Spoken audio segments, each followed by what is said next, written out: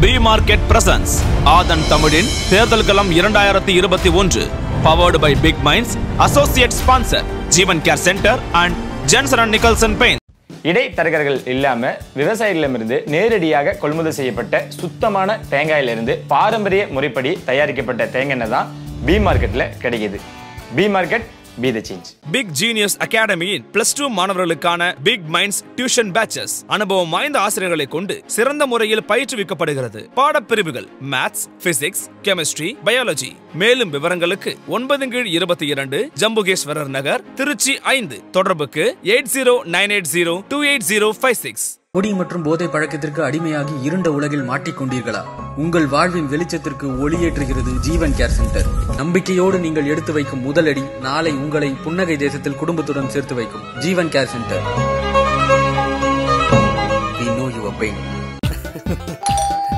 டக்குனு காயும் நச்சுன்னு ஜொலிக்கும்.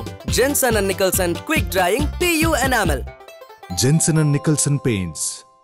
Sattur சட்டமன்ற தொகுதியில் ஆயிரத்தி தொள்ளாயிரத்தி எழுபத்தி ஏழாம் ஆண்டு அதிமுக சார்பில் சாத்தூர் ராமச்சந்திரன் வெற்றி பெற்றார். எண்பதாம் ஆண்டும் அதிமுக சார்பாக சாத்தூர் ராமச்சந்திரனை வெற்றி பெற்றார். எண்பத்து நான்காம் ஆண்டும் தொடர்ந்து மூன்றாவது முறையாக அதிமுக சார்பில் சாத்தூர் ராமச்சந்திரனை வெற்றி பெற்றார். எண்பத்து ஒன்பதாம் ஆண்டு எஸ் எஸ் கருப்பசாமி அவர்கள் திமுக சார்பாக போட்டியிட்டு வெற்றி பெற்றார். தொன்னூற்று ஓராம் ஆண்டு தமிழ் மாநில காங்கிரஸ் கட்சியின் சார்பாக சாத்தூர் ராமச்சந்திரன் என்று வெற்றி பெற்றார். தொன்னூற்று ஆறாம் ஆண்டு திராவிட முன்னேற்ற கழகத்தின் சார்பாக கே எம் விஜயகுமார் வெற்றி பெற்றார். இரண்டாயிரத்தி ஓராம் ஆண்டு திமுக சார்பாக சாத்தூர் ராமச்சந்திரனே வெற்றி பெற்றார். இரண்டாயிரத்தி ஆறாம் ஆண்டு திமுக சார்பாக போட்டியிட்ட சாத்தூர் ராமச்சந்திரன் வெற்றி பெற்றார். இரண்டாயிரத்தி பதினோராம் ஆண்டு அதிமுக சார்பாக போட்டியிட்ட ஆர் பி உதயகுமார் வெற்றி அடைந்தார் இரண்டாயிரத்தி பதினாறாம் ஆண்டு அதிமுக சார்பாக போட்டியிட்ட எஸ் ஜி சுப்பிரமணியன் வெற்றி பெற்றார். இரண்டாயிரத்தி பத்தொன்பதாம் ஆண்டு நடைபெற்ற இடைத்தேர்தலில் எம் எஸ் ஆர் ராஜவர்மன் வெற்றியடைந்தார். சாத்தூர் சட்டமன்ற தொகுதியில் காங்கிரஸ் கட்சி மூன்று முறை வெற்றி பெற்றிருக்கிறது. இதில் இரண்டு முறை காங்கிரஸ் தலைவராக இருந்த காமராஜர் வெற்றி பெற்றிருக்கிறார். சுதந்திரா கட்சியும் ஃபார்வர்டு பிளாக் கட்சியும் தலா ஒரு முறை இந்த தொகுதியில் வெற்றி பெற்றிருக்கின்றன. சாத்தூர் ராமச்சந்திரன் ஒரு முறை தாயக மறுமலர்ச்சி கழகம் சார்பிலும் இரண்டு முறை திமுக சார்பிலும் மூன்று முறை அதிமுக சார்பிலும் என இந்த தொகுதியிலிருந்து ஆறு முறை தேர்வு செய்யப்பட்டிருக்கிறார். இரண்டாயிரத்தி இருபத்தி ஓராம் ஆண்டு சட்டமன்ற தேர்தலில் சாத்தூர் மக்கள் யாரை தேர்ந்தெடுக்கப் போகிறார்கள்? திமுகவா அல்லது அதிமுகவா? மக்களின் பதில்கள் இதோ. ரெண்டாயிரத்தி இருபத்தி ஒன்று சட்டமன்ற தேர்தல் இன்னும் ஒரு அஞ்சு மாதத்தில் வரப்போகுது. யார் வந்தால் நல்லா இருக்கும்னு நினைக்கிறீங்கண்ணே? நாம் தமிழர் கட்சி தான். வருங்கிறது எங்களோட நிலைப்பாடு. ஆட்சி மாற்றம் வந்தால் நல்லா இருக்கும் சார். இந்த ரெண்டு கட்சியை தவிர வேறு எந்த கட்சி வந்தாலும் நல்லா இருக்கும் இளைஞர்கள்லாம் மாற்றத்தை தான் எதிர்பார்க்குறாங்க. சீமான் வந்தால் நல்லா இருக்கும்னு நினைக்கிறேன். எடப்பாடி பழனிசாமி தான் இருந்தேன் டிடி தான் நான் நினைக்கும் மீண்டும் ஏடிஎம்கே ஆட்சி அமைச்சா நல்லாயிருக்கும். எங்களை மாதிரி ஆளுகளுக்கு அவங்க தான் நல்ல உதவி பண்ணுவாங்க. தினகரனும் சசிகலா வரட்டும்யா எடப்பாடி அவர் வரட்டும். எடப்பாடி வந்தால் தான் நல்லாயிருக்கும். கேப்டன் விஜயகாந்த் வந்தால் நல்லாயிருக்கும். எங்களுக்கு ரெட்டில் வந்தால் நல்லாயிருக்கும். எங்களுக்கு ரெட்டில் வந்தால் நல்லாயிருக்கும். திமுக வந்தா நல்லா இருக்கும் மு க ஸ்டாலின். சசிகலா அம்மா வந்தால் மாற்றம் இருக்கும் ஆமாம் சசிகலாவோ தினகரன் ரெண்டு பேரும் வந்தால் நல்லாயிருக்கும் சாமி. ரெட்டலா வந்தால் நல்லாயிருக்கும்.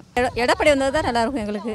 ரெட்டலும் திமுக தான் வரும்னு ஒரு இது இருக்குது திமுக வந்தால் அரசியல் பண்ணலாம் தமிழ்நாட்டில்.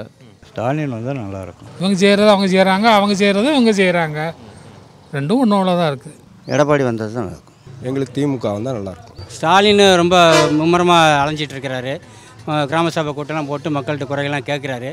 இதே சமயம் இதே இது எடப்பாடி வந்து இதே சமயத்தில் அன் இதுக்கு முன்னாடி வந்து இறங்கலை அவ்வளவா. தீவிரமாக இறங்கலை. இப்போ இறங்குற தீவிரமாக இறங்குறவர் ஏன் அன்னைக்கு இறங்கலை?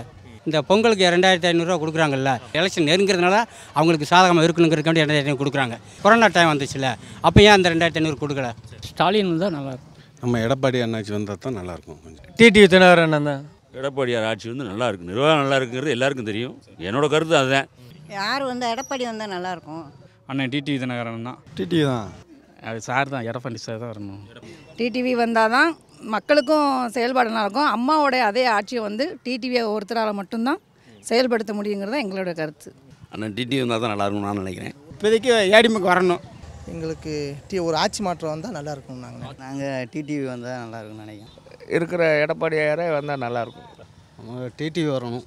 ராஜவர்மன் சொல்லட்டும் அதிமுக கிடையாது ராஜவர்மன் வந்து பிள்ளைகளை வந்து படிக்க வைக்கும் நம்மலாம் படிக்க வைக்க முடியல. அதுக்கான ஏற்பாடு இன்னைக்கு செய்யணும். ராஜவர்மன் தான். உங்க சட்டமன்ற உறுப்பினர் ராஜவர்மன் அவரே இருக்கட்டும். ராஜபுரம் தான் வருவார். உங்க சட்டமன்ற உறுப்பினர் ராஜவர்மனே இருக்கட்டும். என்ன காரணம்? அவர் நல்லா செய்வார் அதனால் அவர் அதுக்கு திமுக வந்தால் தான் தலைமை நல்லா இருக்கும் யார் ஏடிஎம்கே தான் வரலாம். ஏடிஎம் தான் வாய்ப்பு. டிஎம்கே வந்தால் நல்லாயிருக்கும். எடப்பாடி வந்தது நல்லாயிருக்கும். நம்ம இதில் வந்து ஏடிஎம்கே தான் வரும். எடப்பாடி ஆட்சி வந்தால் நல்லாயிருக்கும் புது புதுசாக நல்ல மனுஷங்க வந்தால் ஜாதி பாகுபடலாமல் கட்சி பாகுபடலாமல் எல்லாம் நல்ல மனுஷங்க வந்தால் நல்லாயிருக்கும் நம்ம தலையெழுத்து என்றைக்கு மாற போகுதுன்னு தெரியாது. என்னைக்கு மக்கள் திருந்த போகிறாங்க என்ன செய்ய போகிறாங்கன்னு தெரியாது. யார் வந்தால் இப்போ ஓபிஎஸ் வந்தால் நல்லாயிருக்கும் எடப்பாடி பழனிசாமி வந்தால் கொஞ்சம் நல்லாயிருக்கும். சாத்தூர் தொகுதி ராஜவர்மன் வந்தால் நல்லாயிருக்கும். ஏற்கனவே ஒரு வருஷமாக அவர் இப்போ வந்ததுனால எல்லா இடத்துக்கும் போயிட்டு வர செய்ய நல்லா இது பண்ணுறாரு நல்லது கெட்டது எதாக இருந்தாலுமே அவர் வந்து நல்லா செயல்படுறாரு. எடப்பாடி மறுபடியும் வருவார். நல்லதே செய்வார். இந்த தொகுதியுடைய பிரச்சனைகளா பிரதான பிரச்சனைகள் என்னென்ன இருக்கு? தாயில்பட்டி முக்கில் வந்து ஒரு மேம்பாலம் வரணுங்கிறது தான் மெயினாக மெயின் இருக்குது அதுக்கடுத்து வைப்பாத்தில் வந்து தண்ணிங்கிறது இப்போ வந்து தமிழ்நாடு முழுக்க அனைத்து நதிகளையும் தண்ணி ஓடுது. ஆனால் வைப்பாத்தில் வந்து தண்ணி ஓடலை. இப்போ வந்து சாக்கடை தான் கலக்குது. அனைத்து வீடுகள் இப்போ வீடுகளோட கட்டுமானங்கள் வந்து பெருகி போச்சு. அந்த பெருகினதுனால பார்த்திங்கன்னா அந்த சாக்கடை வந்து நே டைரெக்டாக இப்போ ஆற்றுல விடுற மாதிரி இருக்குது அதனால் வைப்பாத்தை வந்து ஜீவநிதியாக மாற்றுறதுக்கு வழி ஒன்று இருக்குது அது கூட வைப்பாட்டு மீட்பு குழுன்னு மேம்பாட்டு குழுன்னு ஒன்று கூட அமைச்சு அது கூட முயற்சி பண்ணிக்கிட்டு தான் நிறைய பேர் இருக்கோம். அதுவும் இன்னும் நடக்கலை. வைப்பாறு தான் தண்ணி தான்.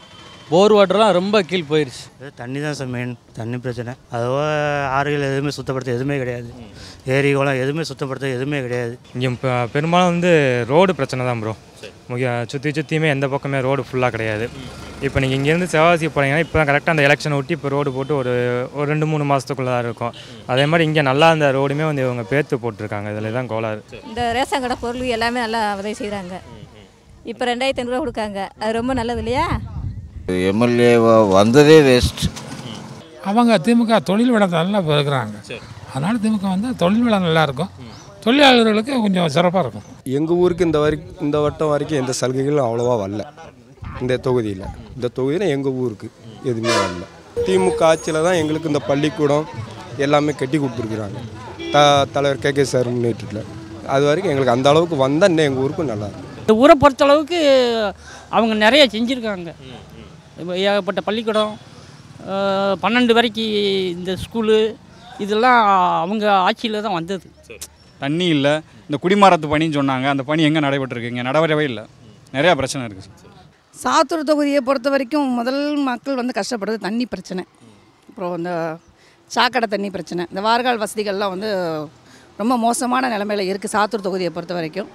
தண்ணி பிரச்சனை ரொம்ப அதிகமாக இருக்குது இந்த கிராமத்துங்களை விட வெளியில் வந்து தொகையில் வந்து அதிகமாக இருக்குது அது போக கடன் பல பல வருட காலமாக வந்து பட்டாசு தொழில் தான் மெயினிங்க பட்டாசு தொழிலை வச்சு தான் மக்கள் ஒவ்வொருத்தரோட இது இருக்கும். அந்த பட்டாசு தொழிலுக்கே வந்து பல ஆபத்துகள்.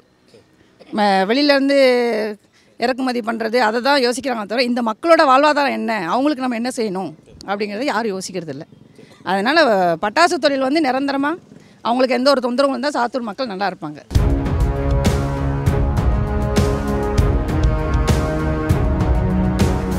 ஆதன் தமிழின் இரண்டாயிரத்தி இருபத்தி ஒன்று தேர்தல் களமானது சாத்தூர் தொகுதியில் மக்களின் கருத்துக்களையும் அந்த மக்களின் எண்ண ஓட்டங்கள் அந்த மக்களின் சட்டமன்ற உறுப்பினராக யார் வர வேண்டும் இப்போது இருக்கக்கூடிய சட்டமன்ற உறுப்பினரே தொடர வேண்டுமா உள்ளிட்ட பல கேள்விகளை முன்வைத்திருந்தோம். மக்களின் பரவலான கருத்துக்கள் தற்பொழுது அந்த தொகுதியின் சட்டமன்ற உறுப்பினராக இருக்கக்கூடியவர் அதிமுகவை சேர்ந்த Thiru M S R Rajavarman. ராஜவர்மனை பொறுத்தவரையில் சமீபத்தில் ஒன்றரை ஆண்டுகளுக்கு முன்னாடி நடந்த இந்த இருபத்தி ஒரு தொகுதி இடைத்தேர்தலின் மூலமாக சட்டமன்ற உறுப்பினராக வந்தவர். அவர் வந்து இந்த கிராமப்புற மக்களுக்கு ரொம்பவும் பரிச்சயமான ஒரு நபராக எளிய மக்களை மிகவும் நேசிக்கக்கூடியவராகவும் அவர்களை அணுகக்கூடியவராகவும் இருப்பதால் கிராமப்புற மக்களுடைய வாய்ஸ் பெருமளவு திரு ராஜவர்மனுக்கு ஆதரவாக இருக்கிறது. அதே போல இந்த தொகுதி மக்களுடைய பலருடைய மனநிலை வந்து டிடிவி தினகரன் சசிகலாவுக்கு சாதகமாக இருப்பதாக தெரிகிறது. இந்த தொகுதி மக்கள் முழுவதுமாக ஒரு குறிப்பிட்ட ஒரு சமூகத்தை சார்ந்த மக்கள் என்பதனால் திரு சசிகலா தினகரனை பெருமளவு ஆதரிப்பதாக அந்த மக்களின் கருத்துக்கள் இருப்பது தெரிகிறது. சசிகலா தினகரனுக்கு ஆதரவாக இருப்பது போலவும் ஒரு தோற்றம் அளிக்கிறது. இருக்கிறது. ஏறக்குறைய பாதிக்கு பாதி திரு எம்எஸ்ஆர் ராஜவர்மன் எந்த அளவுக்கு மக்களின் அபிமானம் பெற்றிருக்கிறாரோ அதே அளவுக்கான அபிமானத்தை டிடிவி தினகரனும் சசிகலாவும் பெற்றுள்ளார்கள். மீண்டும் சசிகலா தினகரன் வர வேண்டும் அப்படி என்றெல்லாம் வந்து மக்களின் கருத்துக்கள் எண்ண ஓட்டங்கள் இருக்கின்ற. திமுகவை பொறுத்தவரையில் ஒரு மாற்றம் வேண்டும் என்று ஒரு சிலர் கூறுகிறார்கள். பெரிய அளவுக்கான தாக்கம்னு பார்த்தீங்கன்னா எம்எஸ்ஆர் ராஜவர்மனும் அதே போல சசிகலா தினகரன். இவர்களுக்கு தான் செல்வாக்கு இந்த சாத்தூர் தொகுதியில் அதிகமாக இருப்பதை நம்மளால் அந்த கருத்து கணிப்பின் வாயிலாக உணர முடிகிறது. இந்த விருதுநகர் மாவட்டத்தில் இருக்கக்கூடிய சாத்தூர் தொகுதிக்கு இரண்டாயிரத்தி இருபத்தி ஒன்று தேர்தல்களும் ஆதம் ஆதன் தமிழ் சார்பாக மூத்த ஊடகவியலாளர் திரு மாதேஸ்வரன் அவர்கள் களத்தில் சென்று விஷயங்களை சேகரித்தார் அதன் அடிப்படையில் அதிமுகவிற்கும் அமமுகவிற்கும் நிறைய ஆதரவுகள் இருப்பதாக அவர் தகவல்கள் கொடுத்துருக்கிறாரு. ஆஹ் இன்னொரு பக்கம் நம்ம பார்க்கும்போது திமுக வெகுகாலமாக அங்கே வந்து இடம் பிடிக்காத ஒரு நிலைமை நீடிச்சுக்கிட்டு இருக்கு. ஏற்கனவே பல முறை வென்ற ஒரு நபராக சாத்தூர் ராமச்சந்திரன் திகழ்கிறாரு அவரும் பல கட்சிகள் சார்பாக நின்று அங்கே தொடர்ந்து வெற்றி பெற்ற ஒரு நபராக திகழ்கிறார். அவருக்கு போட்டியாக இந்த முறை சீனிவாசனை களமிறக்கி ஒரு கடுமையான ஒரு போட்டியை திமுக காங்கிரஸ் கூட்டணி கொடுக்கும் அப்படின்னு நம்பப்படுகிறது. ஸோ அப்படி இவங்க ரொம்ப கடுமையான வேலைகள் பண்ணாங்க அப்படின்னா திமுக காங்கிரஸ் கூட்டணி அதிமுகவின் வெற்றி வாய்ப்பை கூட கொஞ்சம் நழுவ வைப்பதற்கான வாய்ப்புகள் நிறைய இருப்பதாக அறிகிறோம். அதே போல் திமுக காங்கிரஸ் கூட்டணி அதிமுகவின் மீது இருக்கக்கூடிய அதிருப்தியை அறுவடை செய்யும் அப்படின்னு ஒரு சில அரசியல் வல்லுநர்கள் சொல்லியிருக்கிறாங்க. ஸோ சாத்தூர் தொகுதி அப்படிங்கிறது ஒரு வகையில் திமுக காங்கிரஸ் கூட்டணியில் இருக்கிறதுனால அவர்களுக்கு சாதகமாக முடிவதற்கான வாய்ப்புகளும் கூடுதலாக இருக்குது.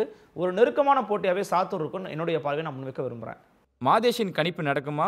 அல்லது அருள்மொழிவர்மனின் கணிப்பு நடக்குமா? உங்கள் கருத்துக்களை கமெண்ட்ஸில் சொல்லுங்கள்